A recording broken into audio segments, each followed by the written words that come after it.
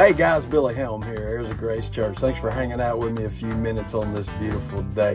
Hey guys, how much value do you think God puts on your life? You may not be walking with the Lord. You may believe, but you know what? You're you may think that somehow that you're not good enough and that you've done too many bad things. Well, I'm gonna tell you something. That's a lie. Don't listen to the lie. God puts great value on your life. It says in Romans 5 8, God loves you so much, yet we were still sinners. Christ died for us. Amen. He puts a great value on who you are, right where you're at.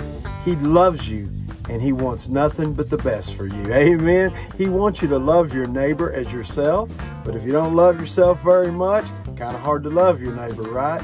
But He wants you to be all that He's called you to be in Christ Jesus. It's a beautiful thing. For God so loved the world that He gave His only begotten Son, that whoever believeth in Him shall not perish, but have eternal life. Amen. It says we were created by Him, through Him, and for Him and in Him we exist. He puts a value on you and He wants you to know it, that He loves you right where you're at. Turn to Him, open His Word, read it, and learn who He says He's called you to be. Amen. You're valuable to the kingdom of God. Hey guys, thanks for hanging out with me. But until next time, Lord bless you.